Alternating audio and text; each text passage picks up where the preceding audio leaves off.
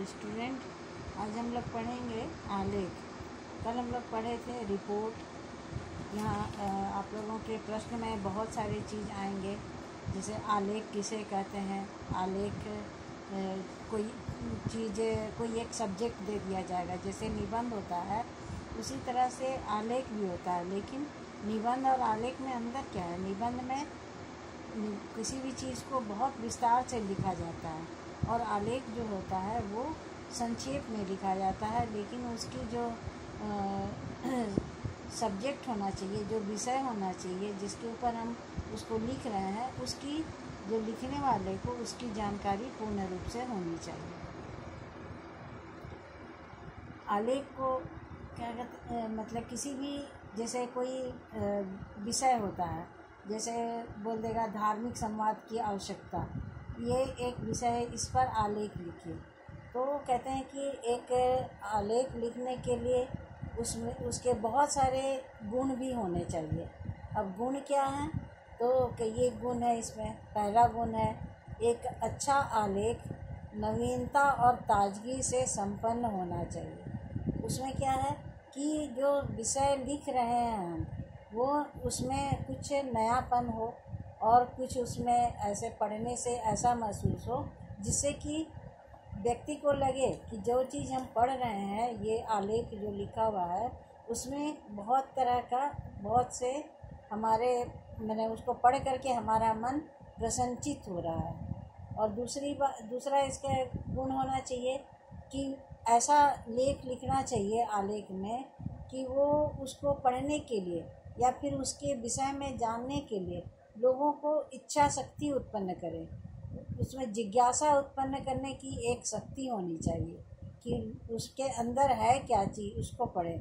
तो शुरुआत जब हम किसी चीज़ को लिखते हैं तो उसे हमें इंटरेस्टिंग बनाना है। उसे रुचि जिसमें कि पढ़ करके पाठक को रुचि लगे, पाठकगण को। तीसरा बात है कि विचार उसके इतने स्पष्ट तथा बेबाक होने चाहिए कि पाठक उन्हें पढ़ता चला जाए। मतलब कहीं पर भी क्लिष्ट भाषा का प्रयोग ना हो, हम साधारण सीधे शब्दों में भाषा का प्रयोग करें, जिससे कि पढ़ने वाले को उसमें रुचि हो और वो उसे पढ़ता चला जाए। ये ऐसा नहीं हो कि हम थोड़ा सा पढ़ें और उसके बाद हमारा मन ऊब गया तो उसको पढ़ने में अच्छा नहीं लगेगा और फिर वो उसे पढ़ेगा नहीं। पांचवा, चौथा गुण है कि भाषा जो है वो अत्यंत सरल, सुगम तथा प्रभावी होनी चाहिए। प्रभाव छोड़ना चाहिए कि किसी भी चीज़ को। कोई कोई हम देखते हैं कि न्यूज़ जो रहता है, जब हम पढ़ते हैं न्यूज़पेपर या किसी भी पत्रिका को उठाते हैं पढ़ने के लिए तो किसी चीज़ को जब हम पढ़ते हैं तो ऐसा कहते हैं ना कि बहुत इंटरेस्टिंग है। ये जो ये बात लिखी हुई है, वो बहुत ही इंटरेस्टिंग है। और उसे हमें छोड़ने का मन नहीं करता। हम उसे, ऐसा उस समय लगता है कि हम इसको पूरा ही पढ़ के उठें, क्योंकि आगे से आगे उसके जानने की एक इच्छा शक्ति उत्पन्न होती है। तुम देखोगे कि जितने भी उपन्यासकार लोग होते हैं, वो उपन्यास में कितने घटनाओं का ज़िक्र करते हैं, लेकिन क्या होता है, वो एक घटना के बाद तुरंत दूसरी घटना का ज़िक्र करते हैं जिससे कि उनको लगता है कि आगे क्या होगा। पाठक जब पढ़ते हैं तो उनको लगता है कि आगे क्या होगा, इसके आगे क्या है, इसके आगे क्या है, उस चीज़ को हम और पढ़ते जाएँ पढ़ते जाएँ। उसे छोड़ने का मन नहीं करेगा, आधे अधूरा में। लेकिन क्या होता है, उपन्यास तो काफ़ी लंबा चौड़ा होता है। उसे आदमी एक बार में मतलब लगातार अगर चार पाँच घंटे बैठे तो भले पढ़ सकता है, जिसकी कि पढ़ने की जो, कला है पढ़ने की शक्ति जो है, वो काफ़ी ऊँची होती है, चाहे उसके क्षमता होती है उतनी। जितना देर बैठने की क्षमता हो कि बैठ करके हम पढ़ सकें।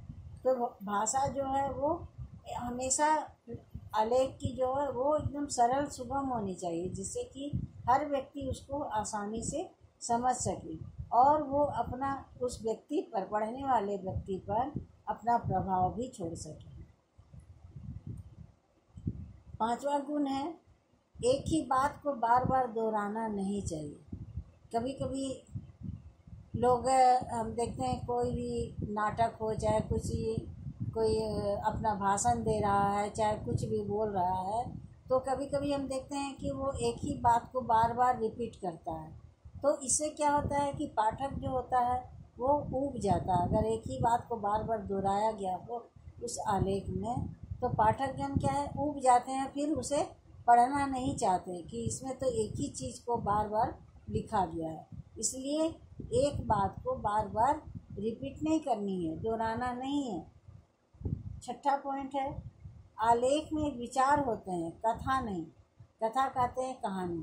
कहानी तो बहुत लंबी चौड़ी होती है, लेकिन आलेख क्या है? आलेख एक विचार को प्रस्तुत करता है।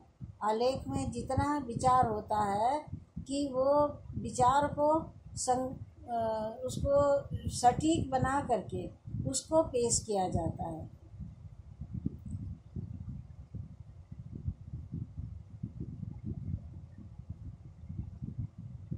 और अंतिम इसका गुण है कि आलेख ज्वलंत मुद्दों, प्रसिद्ध विषयों महत्वपूर्ण व्यक्तियों चरित्रों तथा अवसरों पर लिखे जाते हैं। यहाँ